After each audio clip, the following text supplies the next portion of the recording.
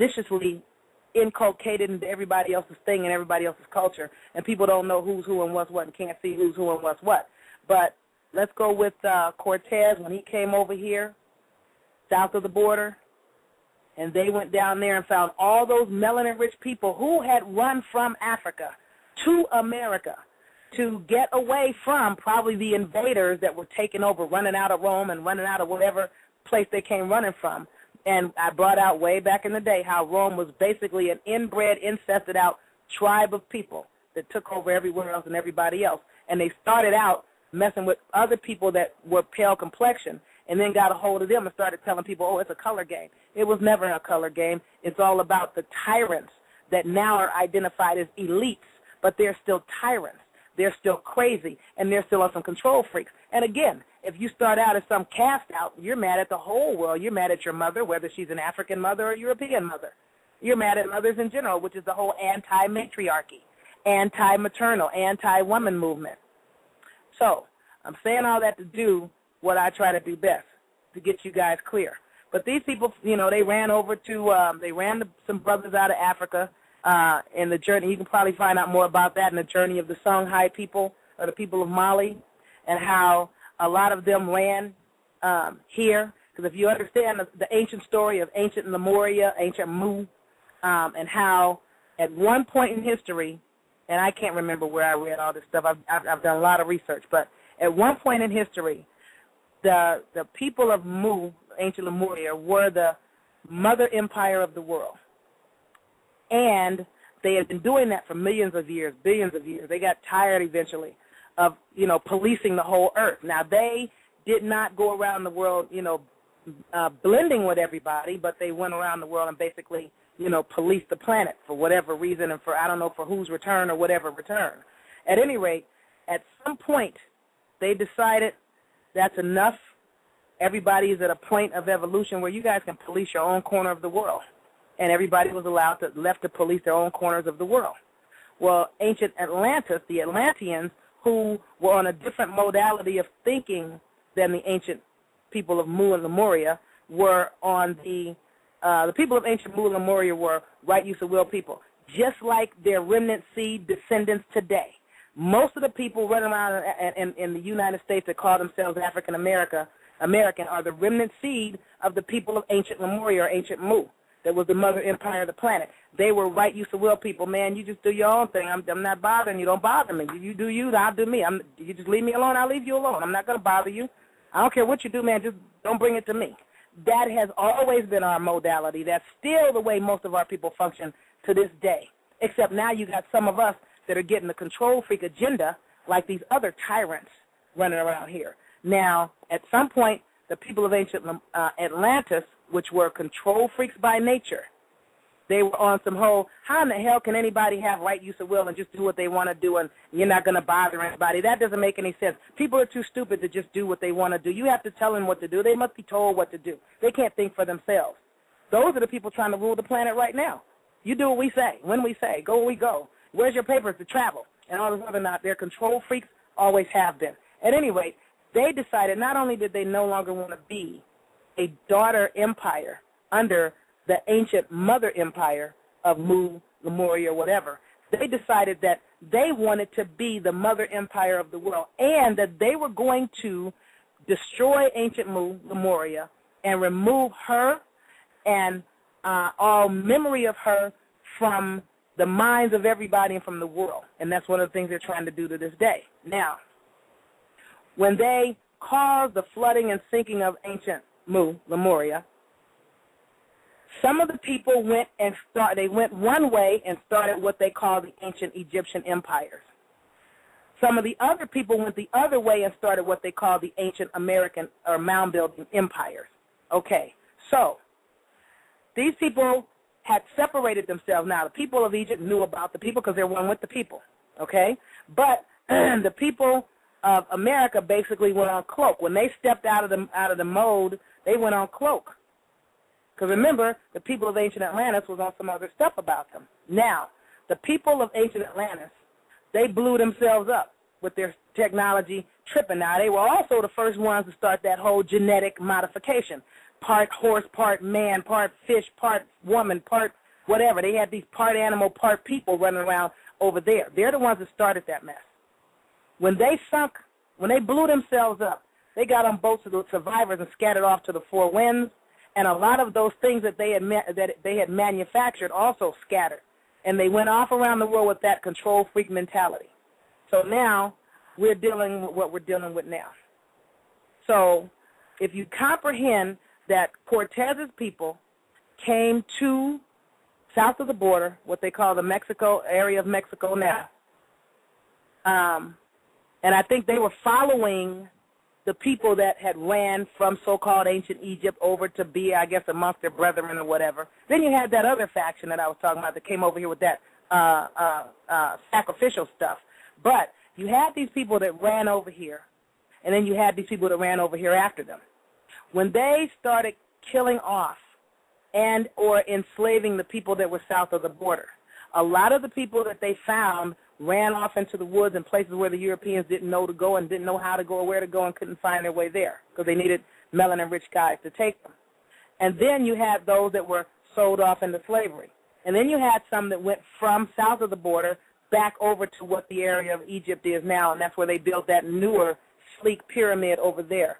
You know, they started with the rougher concept. It was, you know, dirt mounds and then the step pyramids and then the sleek ones were the the last and the best because you know they had perfected the stuff by then. That's why they found so much ancient Egyptian type stuff in ancient, I mean not ancient, in uh, Arizona's uh, uh, uh, Grand Canyon, which the Smithsonian Institute is throwing away and dumping a lot of that stuff into the oceans and things like that as they find it, trying to bury the truth about who everybody is and who's doing what to whom. Because the melanin-rich people of Mu never bothered anybody then, ain't bothering nobody now. We, we, like I said before, we drive one another crazy, but oh well.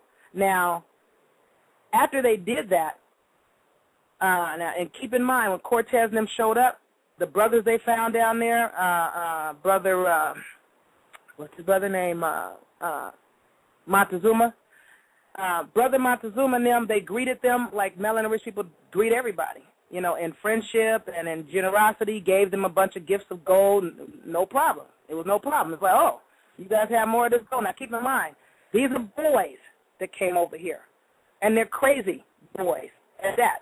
And they honor these other boys that are in the boys, because one of the definitions of boy means knave. A boy is a bad word. It's a knave.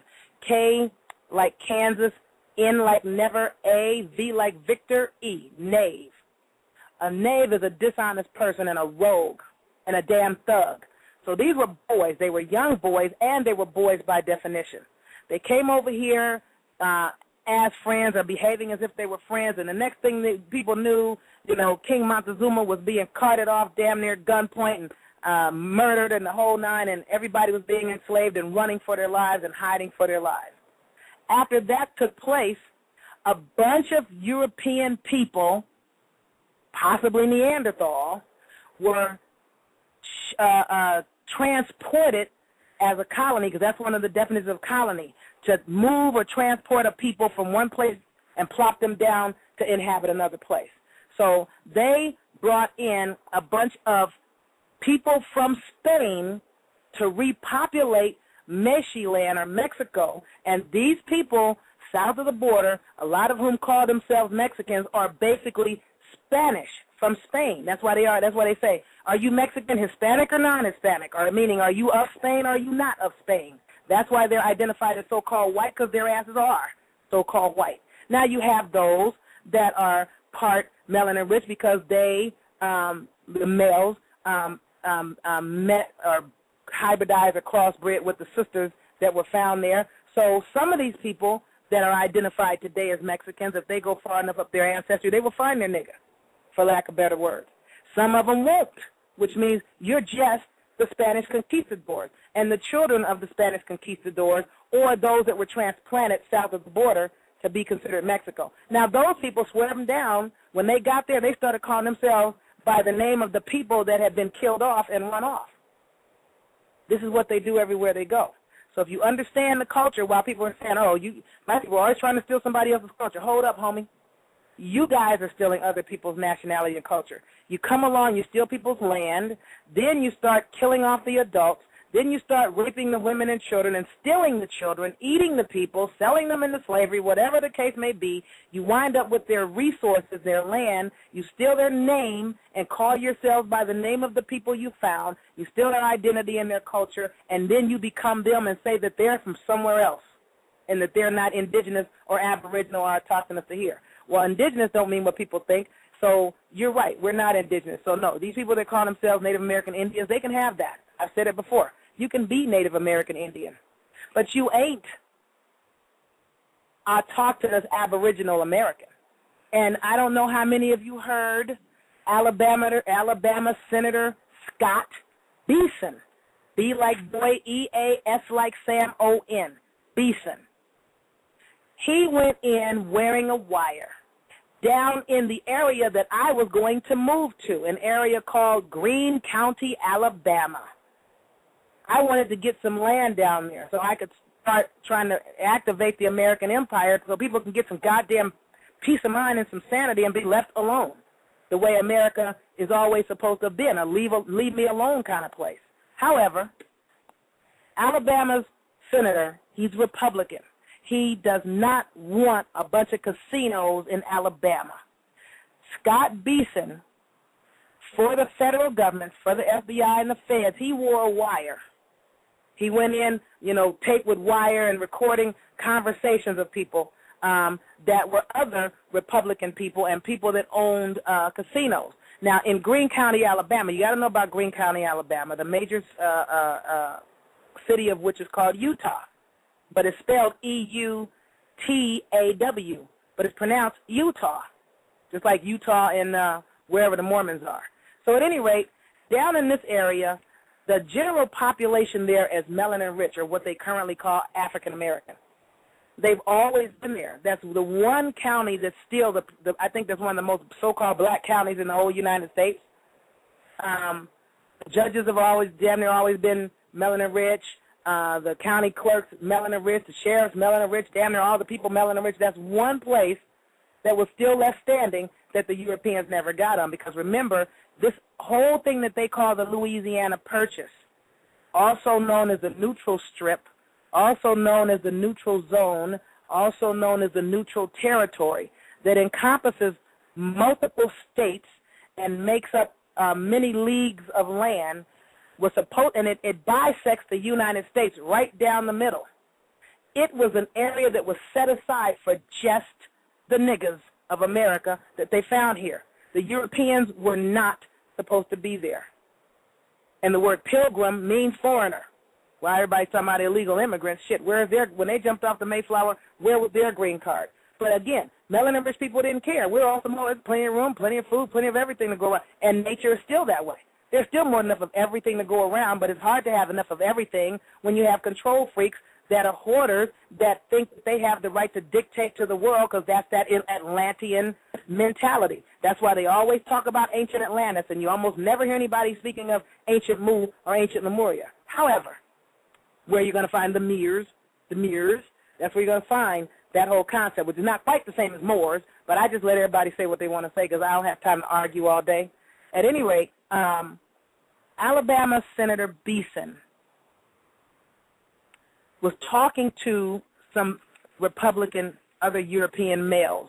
And one of the things that was said was they were talking about these uh, uh, um, casinos that they want to set up. And it was like, well, you know, they're just a bunch of niggas. Give them some food and some bingo and, and, and put them on some buses paid for by HUD, and you can get them to the polls to vote for this agenda. That's all you got to do with them is just, you know, feed them and bust them. They'll vote. And uh, some now they're saying that, that that that Scott said that you know the niggas were illiterate and this and that. It really wasn't him that said it. He didn't say that. Somebody else basically said that niggas are illiterate and this and that, whatever the case may be.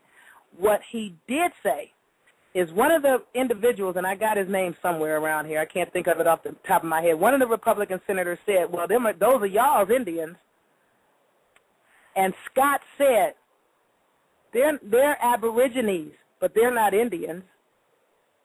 And he got grilled by the federal court for an extensive period of time for saying that the niggas were aborigines. Then you got pink people who say, oh, that must have been a derailed train of thought. That must have been a slip of the tongue. That's one hell of a slip of the tongue. That's a serious thought gone way awry. The reason he said that, and he said, I don't know why I